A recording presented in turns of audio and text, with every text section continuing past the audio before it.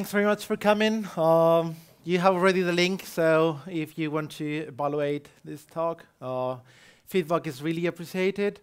Um, my name is Jorge Salamero. That's my Twitter handle if you want to send me messages. Um, I work for Server Density, and if this talk gets boring at some point, you might want to read our blog, which is more entertaining than me. Um, as I said, I work for Server Density. We are a server and website monitoring company. Basically, we collect all the metrics from your servers, and we will let you know when something requires your attention. Uh, but don't worry, I'm not here today to talk about our product. It's, this is not a spam uh, talk. I'm going to talk about something else. The talk is titled War Games or uh, DevOps Flight Training. Um, but you will see that it's a more general discussion about how we or which processes we have implemented internally to handle the human side of things, how we do training, how we do incident management, all those processes, uh, processes in place that allows us to run that infrastructure required to monitoring over 100,000 servers that we do at the moment. But to get a little bit into context, um, here today we are seeing a lot of talks about DevOps, and DevOps is very trendy, not at the moment, but since a few years ago. But unfortunately, DevOps has been about the tools, about infrastructure automation, about configuration automation, about uh, continuous testing, continuous delivery, monitoring, hopefully with us, um, logs, error handling, even feedback. All, all, everything has been about tools, tools, tools. You use, you should use those tools. You should apply those philosophy. You adopt that culture, and that's it. But at the end, nobody has looked at the people doing DevOps. And humans are the ones running the systems. Well, not only running the systems, we do the initial design, we do the improvements when things need to be changed, we do the maintenance, upgrades when we need to deploy security fixes and things like that. And guess what? We are the ones fixing the systems when they break. So if humans at the end, we are the responsible of every single infrastructure, why we are not considering humans as part of the infrastructure and issues in your team, in your humans, as part of your system issues. We should have eventually some alert like this DevOps guy is tired or he is sleepy today. That's a risk for your infrastructure. Because humans impact business. Um, downtime, it's basically a loss of users, uh, reputation, and then revenue. And downtime is because system fails and people that they are not productive, that they are not fresh, that they are not ready, trained, uh, confident to get things fixed, uh, won't be able to solve issues as soon as it is expected. So at the end, unhealthy team, unhealthy team members has a direct impact in your downtime, in your SLA, but also in your revenue, in your business. So that's important. Human risk, or, hum or the thing of having humans running the systems, is that we fail. We fail all the time. We sleep, we lapse, we make mistakes, we even do uh, wrong things on purpose. We do violations. And no matter what we do, this is going to happen again and again. They say that humans are the only animals that they step twice in the same stone what can we do to handle this? How we can handle the human side of things? Well, we should prepare to have downtime. It's completely unrealistic to say, well, you know what, I'm deployed on high availability across multiple zones. Uh, that's the perfect design with the across multiple infrastructure providers, whatever. Well, at the end, always something is going to fail. So you should be ready for that. You should train and you should practice how you're going to react and how you're going to respond as well to those incidents. Once everything is fixed, you should be looking at doing postmortems because you always learn more from the mistakes. Although that's a different issue, or we don't have enough time today to cover that. Uh, so I'll focus on the first two points.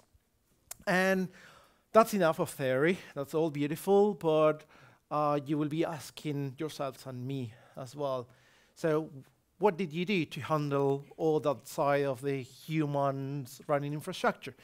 And I'm going to give you real examples today, real practices, things that we implemented. And probably a good example to start is one of our incidents we had a few months ago. I'm going to tell you a story, won't be long, I promise. Um, our infrastructure provider had a power failure in one of the data centers. Well, it's nothing really unusual. They should be prepared for that. So guess what? The first backup generator failed. Well, they have second backup generator. It failed as well. And then in just one second, half of our infrastructure went down. That's a huge impact for our platform and we couldn't like cope with all the metrics from all those thousands of servers that we are monitoring. So our solution basically went down. We got an incident page uh, and our engineer on call, he woke up, he saw what he had in front of him and well, at the end, this was something he was prepared to do it, at least in theory. We have a playbook, we have the instructions on how to recover from this situation. Unfortunately, it was require a manual failover. It was not, not a procedure automated because of some limitations of the infrastructure provider we were using. But you know, the documentation was there. Actually, the documentation was even timed, so we knew how long was going to take us to recover from this. DNS manual failover, do some changes, 20 minutes. Well, at the end, when all this got fixed, we look at our downtime and we saw that we have 43 minutes. And we were asking ourselves, if we had trained, if we had the documentation, and if we had time, all these procedure, and it was supposed to take 20 minutes, from where those extra 23 minutes come from? They are the human factor. If you want to read the whole story, you can go to our public status page and read all the details. Um, so we had to learn from this uh, bad experience. By the way, now it's all automated, so even if that happens again, uh, the procedure won't require human intervention. But still, we wanted to um, learn from this. And we realized that the problem was the human factor, the person who actually received the, uh, the incident page was not uh, ready enough to handle this. He was unfamiliar with the process. He had trained this once. He had the documentation. But you know what? You, when you create a company, you set up the DNS, and probably mm, you won't change that never again. So in theory, everything was perfect, but in practice was something different. Then the second thing that happened is that imagine yourself, you wake up in the middle of the night and you realize that the whole product of your SaaS company is down. All your customers, they are without service. So you kind of panic because all the responsibility is on your shoulders. And in such situation, the most intelligent thing to do is to bring someone else in to help you. So he had to escalate this internally, which basically meant waking up another person, blah, blah, blah. So at the end, there we go, those extra 23 minutes. So what we can do to improve this? Well, we created what we call the general response process. And this is something we do every time there is an incident. Um, you will think every time you get an alert, what you do is start looking at what's wrong. Well, no, we do something else. We have this process First thing you need to do is to acknowledge the alert. We are using PagerDuty um, to get our notifications, and first thing you need to do is to acknowledge the alert. So the rest of the team members, they know there is someone working on that. The second thing you do is to load incident response checklist, something similar to this. And then you go into our chat. We use Slack, but you could be using anything else. And we have a special room only for incidents because If it's in the middle of the night, might be quiet, but if it's during the day, during office hours, the engineers, the front-end engineers, the marketing people might be like discussing other things in in the chat, so we don't want to have like mixed conversations and noise around. So everything happens in a separate room. So if we need to bring in someone else, someone extra to the incident handling, they can quickly read all the backlog and catch up quickly. We not only do that, we not only have this specific uh, chat room, also every action that is executed on the servers is logged into a Jira. This might be a bit of deduplication or duplication, but it's very useful to write postmortems because you go to the Jira ticket, every incident also opens a Jira ticket, and you see everything has been executed with the timing and everything. So it's a good uh, summary uh, to write the final postmortem. Once you have done all this is when you SSH into the system or you look at your monitoring or you start using your tools to troubleshoot to find out what's going on. Might be something super simple, a known issue that will take just 15 seconds to get fixed, but nevertheless, we will be doing these all the time just to prevent, because if at the end it's a very difficult thing that you need to bring five different people to get that fixed, if you didn't start this properly from the beginning, will take much longer to, catch up. Um, once you start troubleshooting and you find out what's the problem, uh, most probably we have documented how to resolve that situation. And for that, we use checklists. Checklists are just great. Actually, in the slide before, you just saw one. Um, and that's why this talk was called Flight Training for DevOps, because checklists, they are used everywhere checklists are very important because nowadays infrastructure is very complex. And to be honest, nobody can handle all that complexity in our brains. We know that sysadmins and DevOps, we have big egos, and we consider that if we created that system, we know how to fix everything on that system. Well, guess what? If you wake up in the middle of the night, you are tired, you are hungover, or even drunk, or you are stressed, uh, you are, it's not going to be the best of you. Or if it's another colleague who needs to handle that incident, everything needs to be properly documented, and that's very useful. And you know what? Checklists, they are used everywhere. Pilots, they use checklists, although they are flying like two or three times every day, and all the time they do the same testing before taking off, but they still have these huge books with loads of checklists. Doctors, when you are having surgery and they open you, they also have checklists with all the procedures, anesthesia, uh, things that they need to check, and also divers. I, I, I took my diving uh, training a few months ago. Uh, one of the first things uh, they teach me was Bruce Willis runs all films, which is basically checking all your gear when uh, you are on surface before going into the water. Because if you forget to do something, and your gear fails, you will die. So in the same way that lives are critical, I think you are going to consider that your SLA and your uh, having your infrastructure running is going to be critical. So that's why we think using checklists are a good thing to do. But checklists, they shouldn't be followed blindly. That's why we have humans and hopefully smart humans using them. If there is something stupid, please don't follow. Uh, so be a little bit a bit critic with your checklist. Otherwise, the process would be completely automated and we wouldn't have a, a human. Checklists, they need to be stored in an independent system.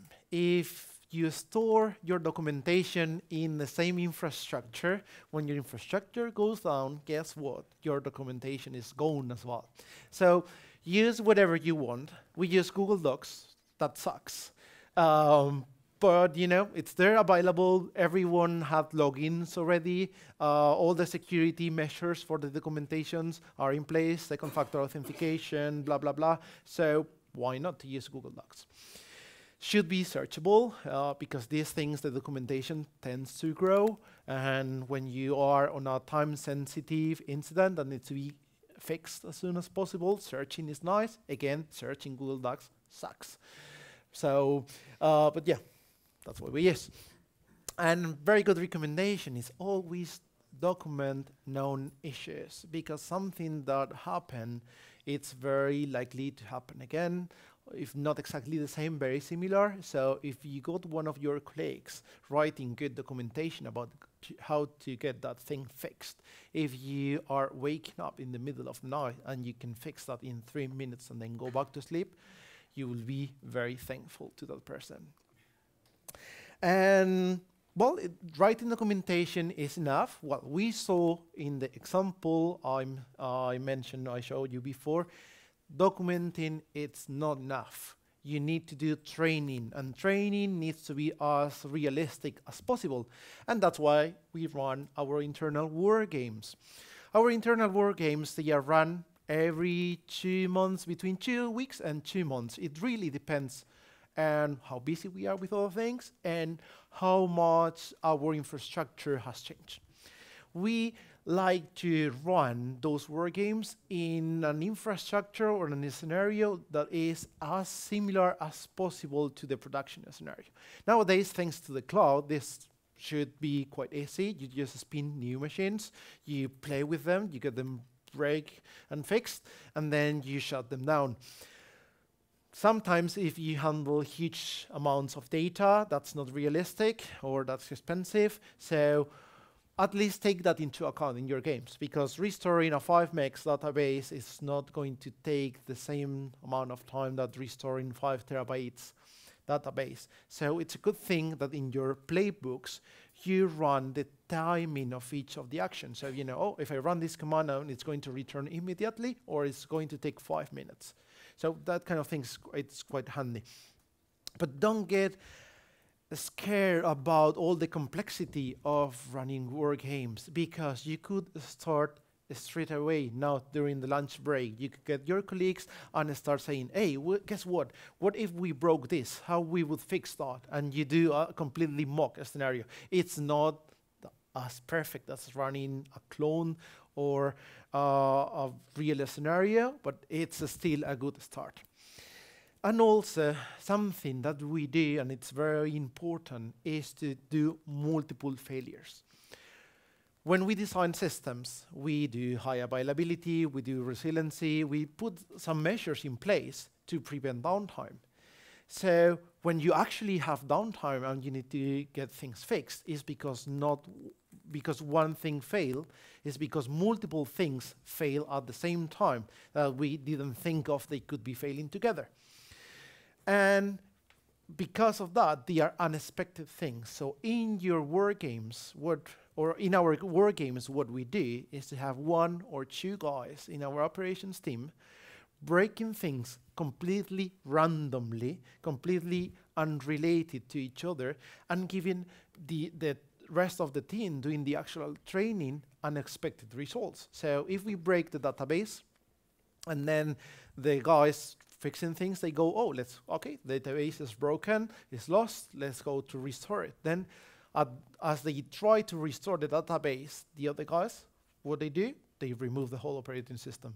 So they, so you go, you try to restart the service, and they say, no, this is command not found. So what is this?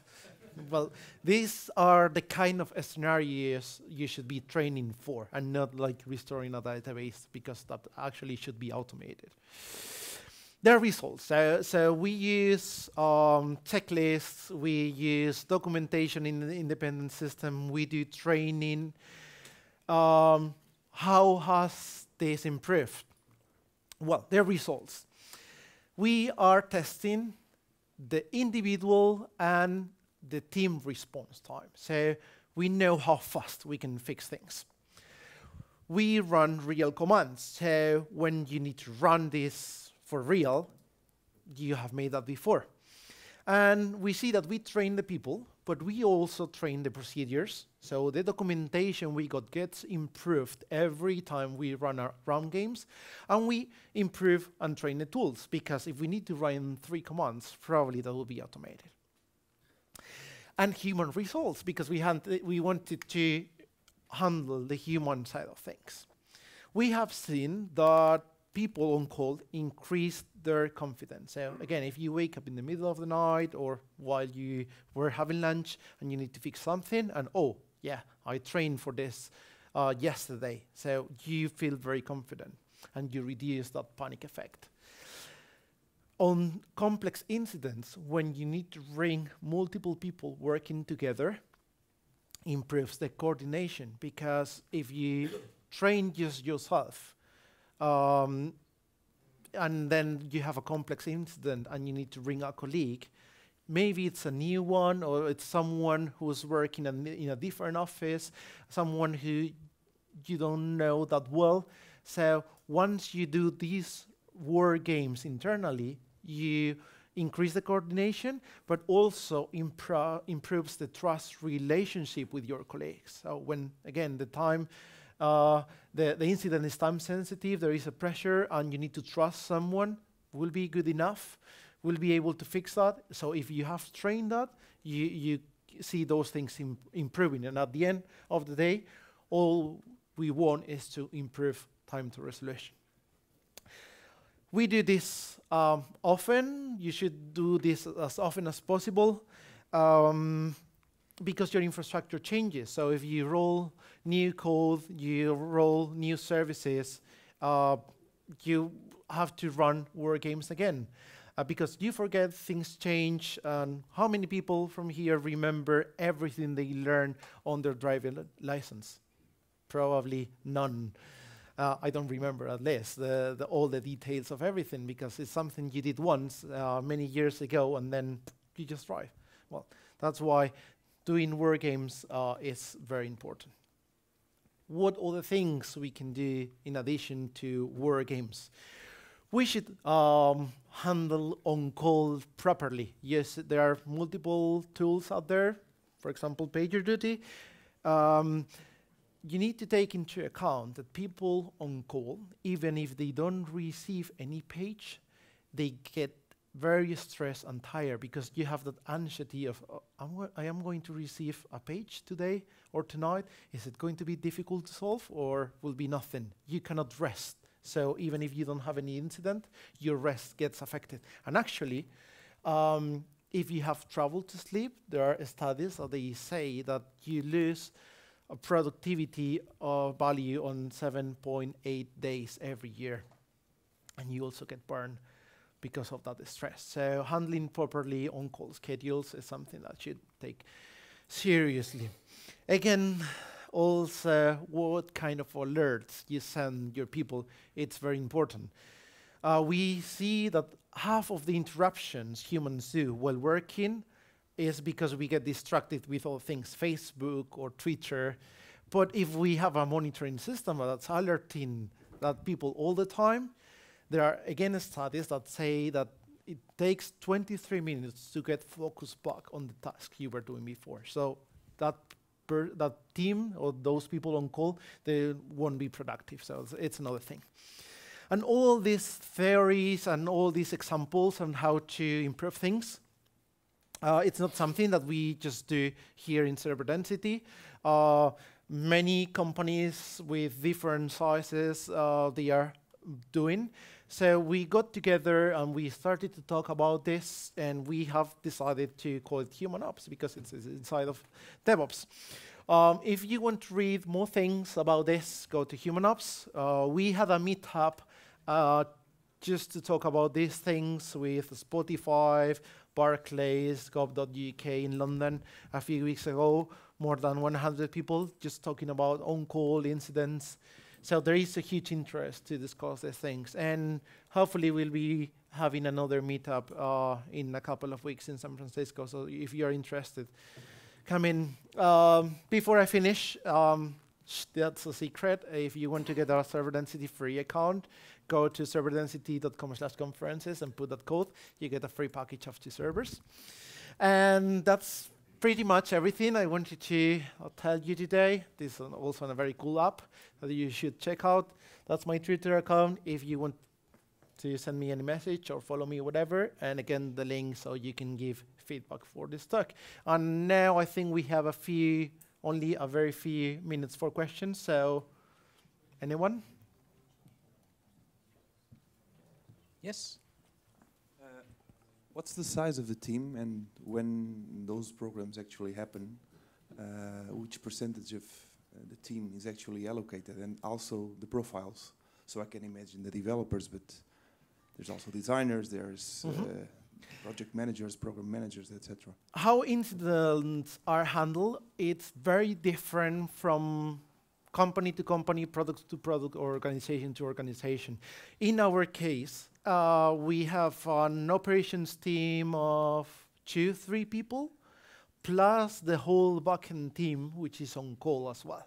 So it's a combination of ops plus backend engineers. There is uh, someone from frontend as well on call, but they never got any page. Um, and in our case, it's, it's an incident. Usually, it's one person who fixes the things. If he needs help, he brings in either a second person from ops or backend engineer. So it's quite simple in our case. There are organizations that it's even more simple. Uh, for example, in the London Human Ops, we have the people from gov.uk, probably one of the biggest pages in the UK, at least the biggest governmental page.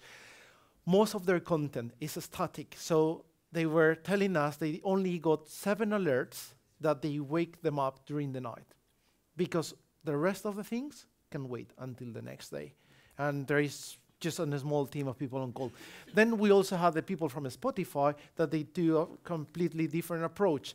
The ops teams provide services to the developers, and the ops teams handles incidents of the services, while the developers handle incidents of the code of the application. So that really will depend on how is your product or infrastructure or orchestrated, if you are using microservices, how your team works together, really depends.